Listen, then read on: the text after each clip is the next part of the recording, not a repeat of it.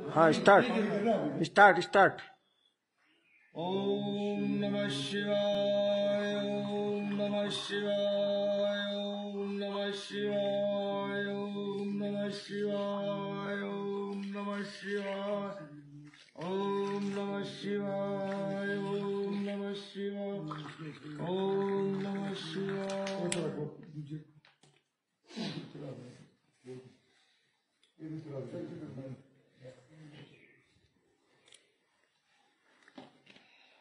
जय भोलेनाथ। ध्यान से देखिए, प्यारे देशवासियों देश विदेश में बसने वाले धर्म प्रेमी बंधुओं, ये आज महादेव की कृपा हुई। ये हमारे बलवान भाई हैं। गुवाहाटी में इन्होंने एक तारीख को बहुत विशाल माता का जागरण करवाया। और इस जगह के लिए मैंने पहले सुना हुआ था, पर आज हमने खोज लिया।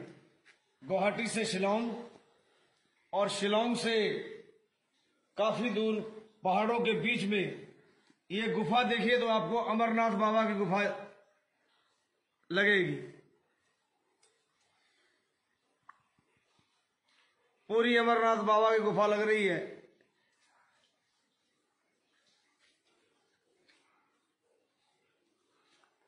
इस तरफ़ देखिए, वो वहाँ से हम उतरे हैं पहाड़ से नीचे। और ये पूरी गुफा है। और यहाँ ये बाबा का पिंड है शिवलिंग। स्वयंभू। स्वयंभू।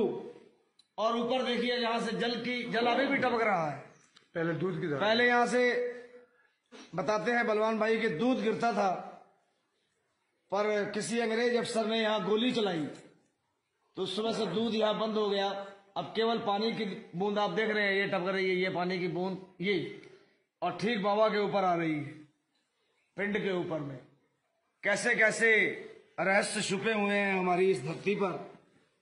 पर अफसोस ये है कि यहाँ ना तो कोई पूजा करने वाला है ना कोई रख रखाव करने वाला है। रहने भी नहीं देते क्रिश्चियन लोग। किसी को रहने भी नहीं देते यहाँ पर। पूजा भी नहीं करने देते क्रिश्चियन ये मेघालय है।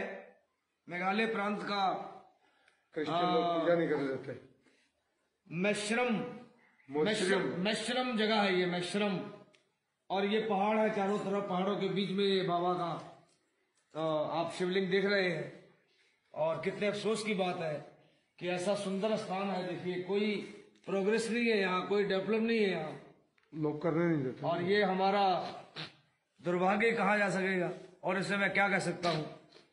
क्योंकि भोलेनाथ के चरणों से मेरा बहुत प्रेम है बचपन से ही। मैं सौभाग्यशाली हूँ यहाँ पहुँचा। और मैं मेरा और भाग्य है कि मुझे इस स्थान के आज दलवान भाई ने दर्शन कराए हैं।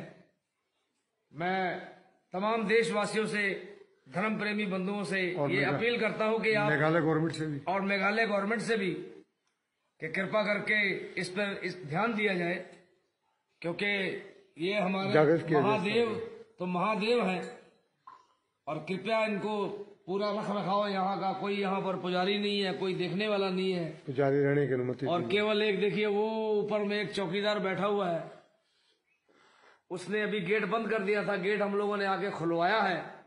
रिक्वेस्ट करके कि भाई जरा गेट खोलो।